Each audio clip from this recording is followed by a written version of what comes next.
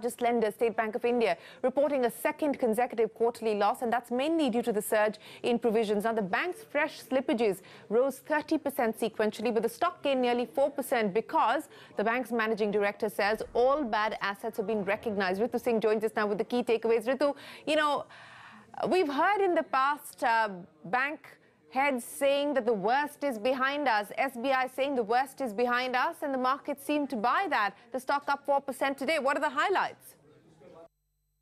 A fairly disappointing quarter from State Bank of India with the bank reporting losses of 7,718 crore rupees largely on the back of a sharp spike in bad loans for SBI. Slippages for the quarter stood at around 33,000 crore rupees. Of this we understand slippages from standard, restructured and 525 accounts stood at 6,734 crore rupees.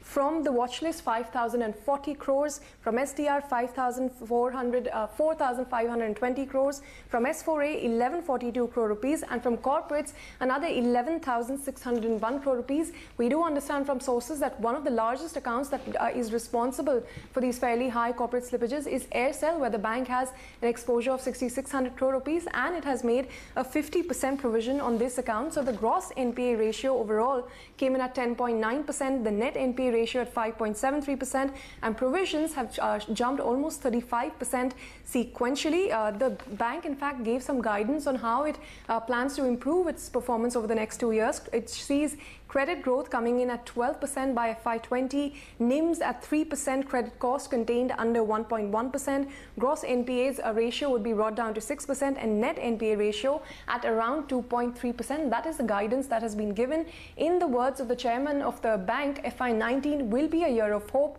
and FY20 a year of happiness. Last year and last quarter was uh, difficult for the banking industry and the State Bank of India. Yeah. But uh, the peak as far as NPA is concerned, so that has been achieved. And hereafter, the NPAs will go down, both in terms of fresh slippages, mm. and we are expecting recoveries uh, through NCLT process and uh, other uh, outside NCLT process also.